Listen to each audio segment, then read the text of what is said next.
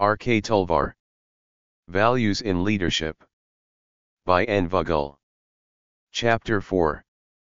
Confrontation with Morarji Desai, Profiles of Courage. Morarji Desai was the finance minister from 1967 to 1969 and was instrumental in the appointment of Talwar as the managing director in 1967, and subsequently as chairman in 1969. When a vacancy arose for the position of a managing director in the bank in 1967, even though Talwar was considered to be the senior most and easily the most competent executive in the bank, the then chairman of the bank did not have a very happy working relations with him and did not favor him for the appointment. While he could not cast any doubts about the competence of Talwar, he told the board and the government, that Talwar was too young to become the managing director and his own preference would be for a person who was junior to Talwar, but much older to him in age. There was little doubt that the person whom he had in mind was really competent but his appointment would have been considered unfair to Talwar who was senior to him in service though much younger in age. The board of the bank was also reluctant to overlook Talwar's claim. It was in these circumstances that Desai started making his own independent inquiries and one of the persons whom he consulted at that time was Ramnath Goenka, who owned Indian Express and was known to be his close friend. Goenka and his colleagues in the jute industry had a long-standing grudge against Talwar, when he took a principled and firm stand against the pattern of financing to the jute industry, when he was superintendent, Advances Department in Kolkata office. Their efforts to make him ply a flexible policy having failed, they took a decision to have him moved out of the position. With the senior management in the bank not wanting to oblige them, they were reported to have contrived to offer to him the position of chief executive of Punjab National Bank, which was a private bank at that time owned by the Jain family. Talwar was in his mid-thirties and was having a series of problems arising out of his wife's illness and was sandwiched between the pressures of work at office and the need to take care of his two young children. His boss at the Kolkata office did not also show any sympathy to him in dealing with his personal problems. The position of chief executive of Punjab National Bank carried with it a remuneration which was several times the multiple of the salary in the Imperial Bank and also offered many perquisites which would have made Talwar's life comfortable. Talwar, however, true to his personality, rejected the offer and decided to continue to remain loyal to the bank he was serving. When Desai consulted Ramnath Goenka about Talwar it would appear that Goenka mentioned to him this incident, possibly to make a point that Talwar was quite inflexible in his attitude. But, as luck would have it, it had just the opposite impact on Desai who said, this is exactly the man I want. Talwar's appointment as the managing director of the bank in 1967 and his subsequent elevation in 1969, overlooking the claims of his senior colleague, showed the immense trust and confidence which Desai reposed on him. This was also clearly evident in the support he extended to him during the officers' strike immediately in the aftermath of his appointment. Talwar hardly met Desai except on a few occasions and there was no great personal relationship between them. Also, in the political conflict between Desai and Mrs. Gandhi, Talwar's sympathies were more with Mrs. Gandhi, even though he never made known his support publicly. Unfortunately, Talwar was destined to have a clash with the very person who was instrumental in his elevation in the State Bank of India.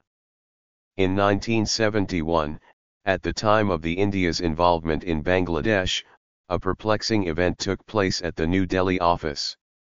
A gentleman by the name Nagarwala telephoned the chief cashier of the Parliament Street branch reportedly mimicking the voice of P. N. Haksar, who was then the principal secretary to Prime Minister, Mrs. Gandhi, conveying certain secret instructions to the chief cashier, Malhotra. He told Malhotra that the government urgently needed a sum of rupees 60 lakhs in connection with the Bangladesh situation, and that he should withdraw the amount from the bank, place it in a box, go to a designated place and hand over the cash to a person who responded to a code word Bharat Mata. Nagarwala continuing to mimic Haksar's voice told the cashier that he would hand over the phone to the Prime Minister and he could talk to her directly. After a pause, the voice of Mrs. Gandhi was reportedly heard by the chief cashier telling him that this was a very important task that was being entrusted to him and she expected him to carry this out in strictest of confidence. Malhotra, who had put in more than 30 years of service in the bank at that time and was known for his fierce loyalty to the bank, was completely overwhelmed by what he thought was a call direct from the PM and without applying his mind, went to the joint custodian of the cash, asked him to withdraw rupees 60 lakhs from the currency chest for making an important government payment. The unwitting joint custodian had no problem in complying with this request as it was not unusual for large payments to be made to the government from time to time. There was nothing unusual with this practice, as cash used to be withdrawn from the currency chest as and when requested by the chief cashier, and the balance amount deposited back in the chest after the accounts were tallied at the end of the day. Malhotra promptly packed the cash in a box and carried it to the designated place. Only after delivering it to Nagarwala, and Nagarwala left the scene, he realized his foolishness, as he did not have any written authorization from the government for making the payment. He immediately rushed to Haksar's office and was shocked to learn that he was duped as no call ever emanated from the Prime Minister's office. He immediately rushed to the Parliament Street police station and by the time he reached there, Haksar had already alerted the police authorities about the fraud. A manhunt was launched and Nagarwala was nabbed by midnight and the entire cash minus 3000 rupees was recovered from him. He was produced before a judicial magistrate the next day, confessed to his guilt and was promptly sentenced by the magistrate for a term of imprisonment. There was disbelief and public outcry on this issue, as the incident not only sounded bizarre but the speed with which the trial took place and the conviction handed out made things look suspicious. To cap it all, Nagarwala died of heart attack in prison within a few days and the whole issue became very much like a page from the fiction. All sorts of wild allegations were made that the Prime Minister had a secret account with the State Bank of India and that attempts were being made to cover up the whole issue. There were also allegations that Nagarwala did not die a natural death and that Malhotra, who was dismissed from the bank's service after the incident, was subsequently employed in Sanjay Gandhi's company. It was also rumored that Nagarwala was a stammerer and was incapable of mimicking anybody's voice leave alone that of the PM who was a woman. Talwar and I knew that none of these allegations had a ring of truth, even though the incident sounded strange. The evidence also did not point to any involvement of the Prime Minister's office and least of all, Mrs. Gandhi but the general public never believed in the version of the bank and strongly suspected that there was something which the bank was holding back. This incident provided enough ammunition to the opposition parties and Desai was in the forefront of the attack, personally targeting Mrs. Gandhi against whom he had a personal grudge. On several occasions he made statements that he had personal knowledge of what had happened and that Mrs. Gandhi always had a secret account with the state bank and that she was not coming out with the true story. After Mrs. Gandhi lost the elections in 1977, Desai became the prime minister and he promptly appointed several commissions to investigate into the wrongdoings during the emergency. Even though the Nagarwala incident took place much earlier, this was obviously rankling in the mind of the Prime Minister and he appointed a judicial commission to find out the truth in the matter. Desai also took the unusual step of appearing before the commission as witness, and testifying that the amount of rupees 60 lakhs that was taken out from the State Bank of India was money belonging to Mrs. Gandhi and was withdrawn at her behest. After several sittings, the Judicial Commission came to the predictable conclusion that they found no truth in this allegation. I do not exactly recall the specific findings of the Commission but it is possibly right to say that nothing much came out of it. After the elections, when the new government took over, they initiated a series of steps to rehabilitate whom they called the victims of the emergency. Talwar being one of the persons who was removed arbitrarily from the office during the emergency, it was widely expected that he would be offered an appropriate position in the banking industry. But, Desai was believed to have vetoed the proposals made to this effect by the finance ministry. Several friends of Talwar, such as Lal Dagli, the editor of Commerce, H. M. Patel, the finance minister and H. T. Parekh, the then chairman of ICICI, who were closely associated with the PM, pleaded with him that the nation could not afford not to utilize the services of a talented person like Talwar, but without any success. After the failure of several attempts, H. T. Parekh, with the concurrence of the finance minister, decided to appoint Talwar as the nominee chairman of a sick company in Mumbai to whom ICICI had lent money and which had become sour.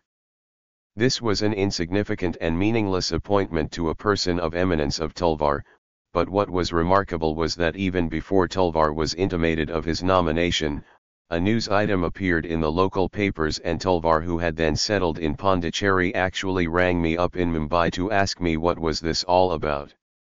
When he was officially intimated of this appointment, he addressed a letter to the finance minister that before taking up any position, however, insignificant it might be, he would like to meet the prime minister, as the latter appeared to be entertaining some misgivings about him.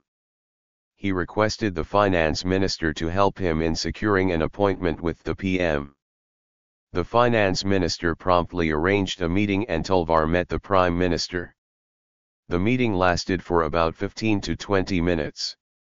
He gave me a complete account of the meeting which I reproduce below based on my memory. Desai, Talwar, you wanted to see me. Talwar, yes sir. I am informed that you have certain reservations about me and I wanted to know what these reservations are so that I could give you any clarifications you may need. Desai, I have only one problem with you. Tell me what exactly is the truth in the Nagarwala case. Talwar, as far as I know, the case is pretty clear. A sum of rupees 60 lakhs was taken from the bank by employing a confidence trick and the money was recovered and deposited back. This is all that happened. At least this is what I know and this was what was confirmed by the Inquiry Commission. Desai, Talwar, I always thought that you are a man of truth. But now you are telling a lie and you know it to be a lie. Talwar, Mr. Prime Minister, I have never told a lie in my life and I wonder how you can make such an accusation. Desai, I know precisely what happened in Nagarwala case. Nobody can fool me on this. Talwar, if you know what really happened in the case, then why are you asking me what happened? In any case, can I know from you what according to you happened in the case? Desai, I know the money belonged to Mrs. Gandhi and you kept it in safe custody on her behalf. When this truth was found out, you tried to shield her by telling a concocted story which nobody in the country believed. Talwar, Mr. Prime Minister, if you are all that sure that the money belonged to Mrs. Gandhi and since the money has been recovered, why don't you hand it back to Mrs. Gandhi? Desai remained silent and did not know how to deal with this matter. The logic seemed so perfect that he could not think of an answer. He changed the track of the conversation. Desai, in any case, what is your problem in not accepting whatever has been offered? Talwar, Mr. Prime Minister, I have not come to meet you to ask for any job. I have never asked for anything from anybody. But I have something to tell you. During the last few minutes of our conversation, you have been doing nothing but to bully me. You have been saying in your public speeches that people were afraid during emergency and that people should eschew fear from their minds. If leaders like you bully like what you have been doing from the time I entered your room, how do you think that fear can be eschewed? Once again Desai looked a little baffled and did not know how to respond. He again decided to change the track of the conversation. Desai, okay. Let us leave it at that. Now that you have been offered the position, go and take it. You place yourself entirely at my disposal and I would decide how to use you. Talwar, a long time back I took a decision to place myself at the disposal of the divine. I am not going to change this decision and place myself at the disposal of a mere mortal like you. In any case, I would like to thank you Mr. Prime Minister for the opportunity given to me to understand you and clarify my position. I would now like to take your leave. With this, he left the room and never met Desai again. So long as Desai was the PM, Talwar was not offered any position by the government. Desai left in 1979 after losing his majority in the parliament and Charan Singh became the prime minister for a brief period. During this time, the finance ministry officials got an opportunity, and recommended the appointment of Talwar as the chairman of IDBI, which was accepted by the prime minister. Talwar was really in two minds before taking up this position. But, as always was his habit he was guided by his intuition, and decided to accept the job offered to him. But he must have also felt that he would not last in the job for long and he decided to retain his rented apartment in Pondicherry even while moving to Bombay. Charan Singh resigned without ever facing the parliament and in the elections that followed Mrs. Gandhi scored a resounding victory and became the prime minister once again. While Talwar expected that he might be asked to leave soon after Mrs. Gandhi assumed office, this, however, did not take place immediately. After a few months, however, reports started circulating that NN Pai had been picked for taking over from Talwar but there was no official intimation to this effect from the ministry. Talwar decided to meet the then finance minister, R. Venkatraman, who subsequently became the president, and had an interesting conversation with him.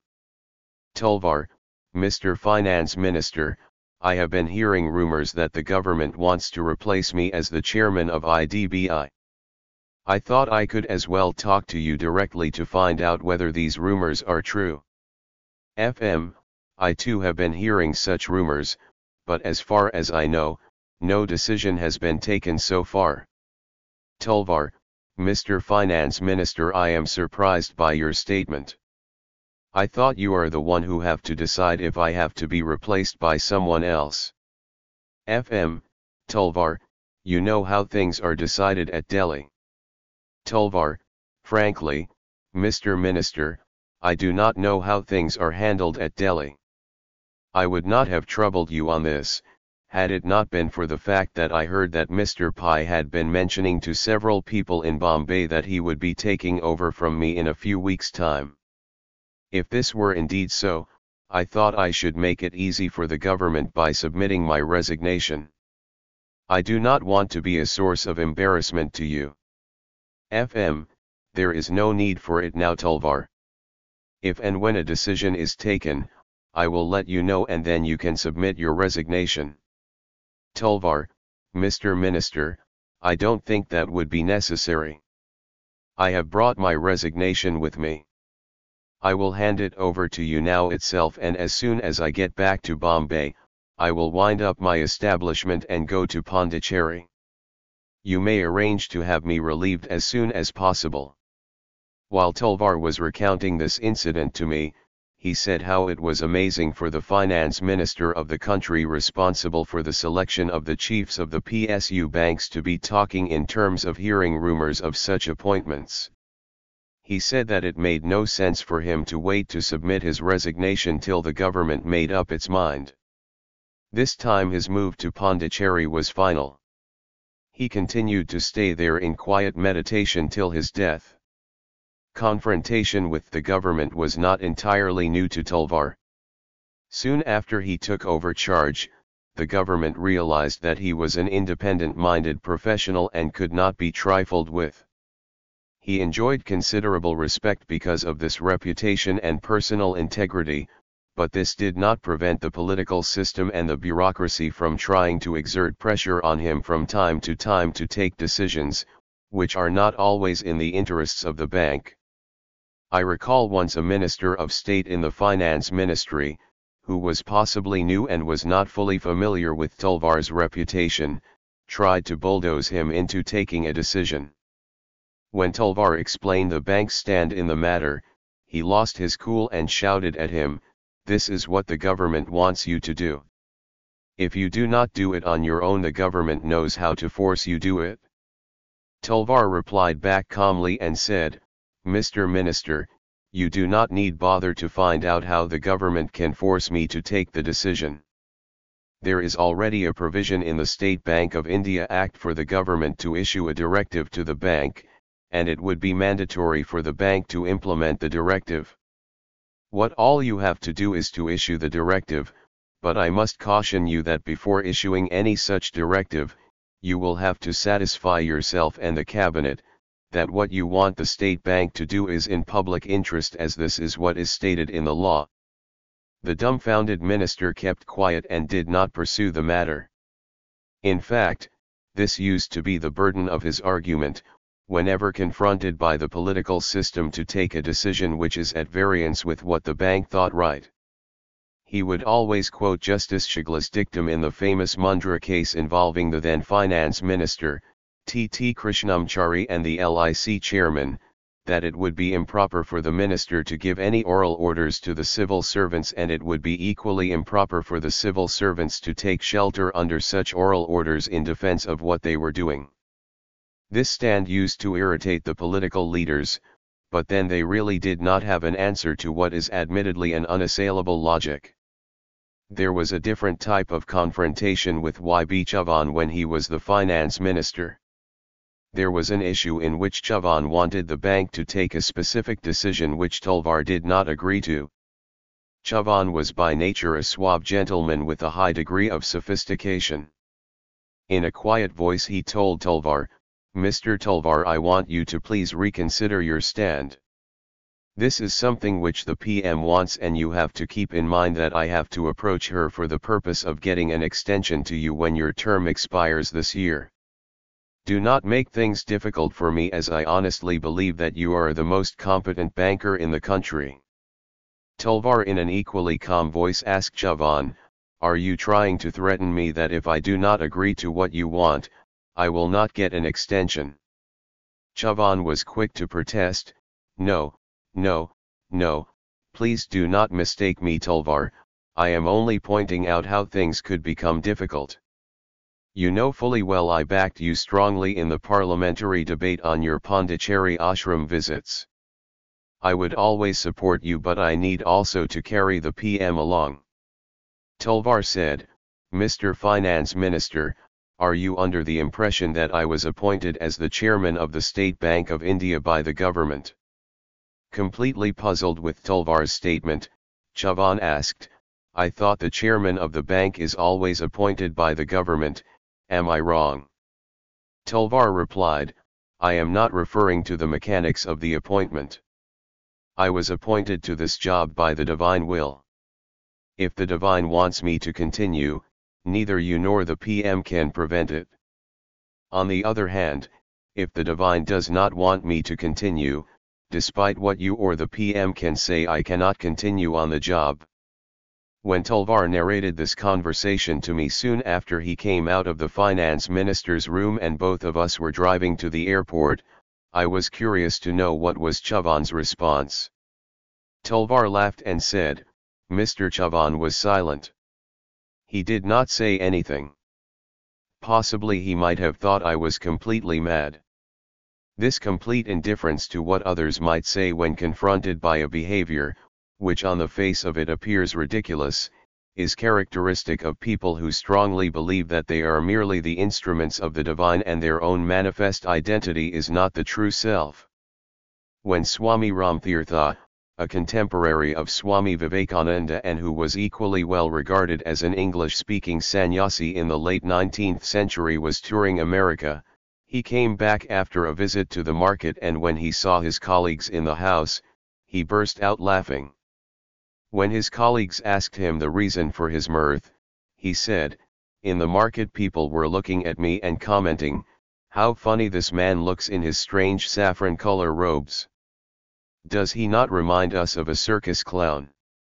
Far from being hurt or ashamed by such remarks, the Swamiji was amused and did not seem to mind the impressions he created on other people. This was true in Talwar's case as well. The country had seen several courageous business leaders, but the courage shown by Talwar belonged to an entirely different class. What was the source of this courage and what gave him the strength to stand up to a powerful political system regardless of the consequences? We would find an answer to this in later chapters. End of chapter 5. R.K. Talwar Values in Leadership by N. Vaghul